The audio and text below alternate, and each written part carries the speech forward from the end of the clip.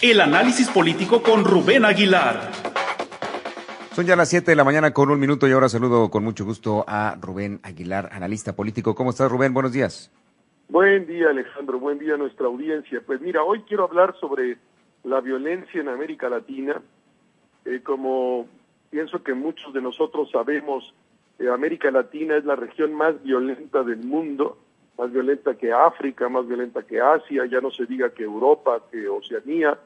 Y, en 2015 el número de los asesinatos en América Latina fue de 135 mil. La media mundial de asesinatos eh, es de 6.2 homicidios por cada 100 mil habitantes. Para el caso de América Latina y el Caribe es de 23.3 homicidios por 100 mil habitantes, que es duplica a África y quintuplica a Asia que, serían las otras regiones más eh, violentas. Eh, esto quiere decir que eh, en el costo que implica la violencia en América Latina, entre el costo que implica la violencia y el combate a la misma, se gastan anualmente en la región 120 mil millones de dólares. ¿Qué quiere decir esto? Dice el Banco Interamericano de Desarrollo, el BID, que si no se gastara esto, que si tuviéramos el mismo nivel de violencia que Europa, eh, incluso que, eh, Asia o África, eh, crecería el per cápita de la región, en general el per cápita, el ingreso por persona en la región crecería en 25%. Imagínate lo que eso significa. No, no vivimos pues en la península de Escandinavia donde no existe prácticamente la violencia, este, sino vivimos en América Latina donde es la región más violenta del mundo. Y por otro lado, un dato que vale la pena tener en cuenta es que a pesar de la violencia que existe en nuestro país, es terrible y vergonzosa, no somos por mucho el país más violento de la región. Somos, en términos de homicidios dolosos por 100.000 habitantes, quien, quien valora el nivel de violencia de un país es la Organización Mundial de la Salud, la OMS, que, utiliza el indicador como en una enfermedad de 100 de el número de afectados por cada 100.000 habitantes, en, este caso homicidios por cada 100.000 habitantes. Y en, y en América Latina, en primer lugar estaría Trinidad y Tobago, una isla del Caribe con 30 homicidios, eh, perdón, estaría primero Honduras, en Centroamérica, con 80 homicidios dolosos por 100.000 habitantes. Después Jamaica, sí, una isla en el Caribe, con 53 homicidios por 100.000 habitantes. Después El Salvador, con 43. Después Colombia, con 32. Luego, en sexto lugar, Trinidad y Tobago, con 30. En séptimo, Brasil, con 28. Guyana también en el Caribe con 19 y México con 19. Estamos en el noveno o el octavo lugar empatado con Guyana de 19 homicidios dolosos por 100.000 habitantes, que es dramático eh, comparado con los tres homicidios dolosos de Chile o los seis de Argentina, pero no somos, como ya decía, el país más violento de la región, sino apenas o tristemente o como queramos llamar, el, el, octavo o noveno lugar en la región, Alejandro. Y estos son números muy recientes, ¿verdad? Porque Son números muy recientes del Banco Interamericano de Desarrollo eh, y también de la Oficina contra las Drogas y el Delito de la ONU, la conocida UNDOC, por las siglas en inglés, para el cierre del año 2015. eh, eso es en el cierre del año 2015, eh, eh, pero estaremos igual que cuando nosotros acá teníamos la violencia a todo lo que daba y teníamos 300 homicidios por mes, en el caso de Ciudad Juárez, cuando fuimos considerada la ciudad más violenta del mundo, estaríamos más o menos igual, Rubén. No, no, pues sí, cuando eh, peor que peor que ustedes estuvo Medellín en las en las épocas de Pablo Escobar que llegó a 390 homicidios por 100.000 habitantes como ciudad.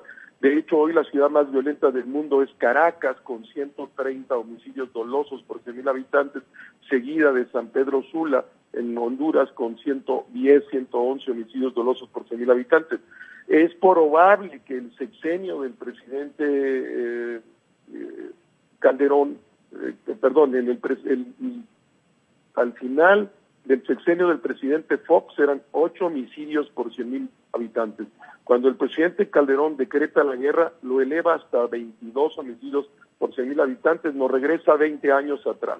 Mm. Ahora andamos sobre 19, como dice el BID, y es probable, conforme se están comportando eh, eh, el número de homicidios dolosos por mil habitantes en el país, que este sexenio vuelva a terminar sobre los 22 como en el, sexenio de Calderón. Es terrible, es dramático, pero muy por debajo de los otros países que ya mencioné, eh, Honduras, Venezuela, Jamaica, El Salvador, Colombia, Trinidad y Tobago, Brasil, Guyana, que están por arriba de México. Y con esta manera de enfrentar a la delincuencia, porque pues mucho de esto deriva, ¿no? De esta de este enfrentamiento que se hace al crimen organizado, pues menos vamos a salir de ese rango, ¿no?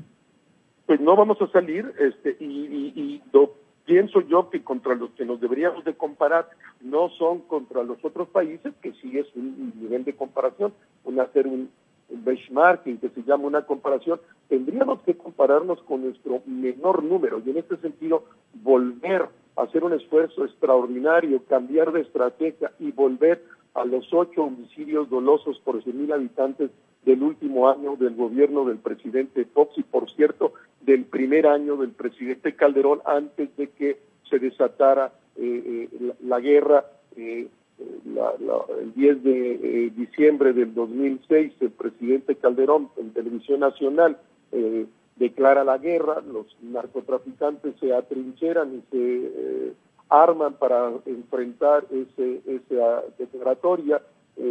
Ellos sabían que se iban a quedar, tienen los dos carteles madre, digamos, Pacífico y Golfo, 60 o 70 años de existencia con diversas modalidades, pues no, no, no, no, no iban a, dejarse eh, eh, eh, solo quitarse, entre comillas, de ese su negocio, al final negocio ilegal, pero negocio, y, se apertrecharon y se hicieron de ejércitos que nunca habían tenido, en particular el cartel de Ciudad Juárez debería de tener antes de la declaratoria del presidente Calderón unos 400 efectivos eh, estaban en nómina, digamos, del cartel, pero cuando viene la declaratoria se van hasta 4.000, incorporando nuevos elementos para hacer frente al, a, la declaratoria de guerra del presidente Calderón, que pienso que fue un gigantesco error que todavía lo estamos pagando como sociedad.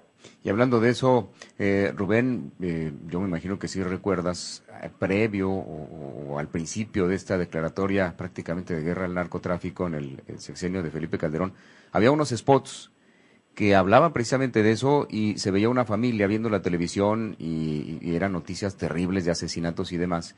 Y, entre la familia comentaban, no, qué, feo, qué violencia tan, tan horrible.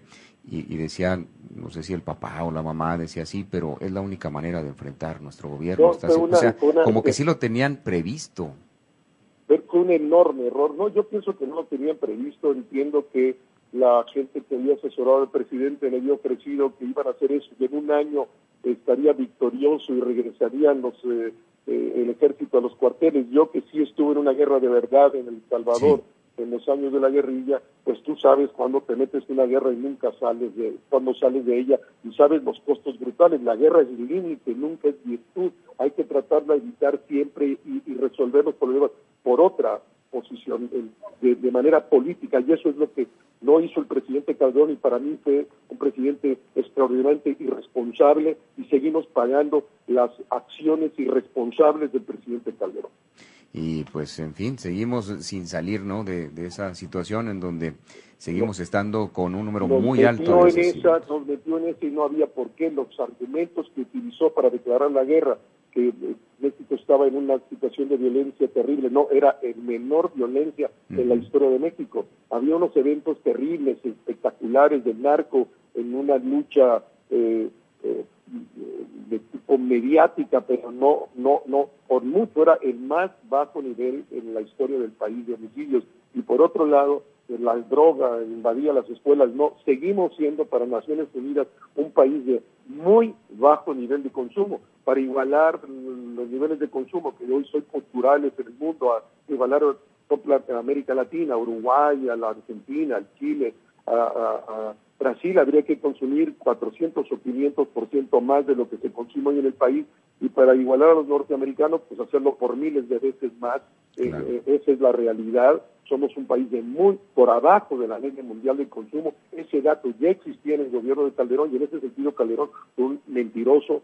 Eh, yo, como Jorge Castañeda, escribimos unos libros donde decíamos que ante la evidencia de este tipo de datos, la única posibilidad era que el presidente quería eh, eh, afianzarse en un proceso electoral que había sido tan difícil y legitimarse delante de la sociedad. Eh, para mí es un acto enorme de responsabilidad, lo dije desde aquel momento, lo sigo diciendo hoy y lo he escrito en dos libros con Castañeda. Pues bien, pues muchísimas gracias por este comentario, Rubén. No, muchísimas gracias aquí Alejandro, buen día y buen día a nuestra audiencia. Igualmente, muy buenos días. Muy buenos días, un abrazo.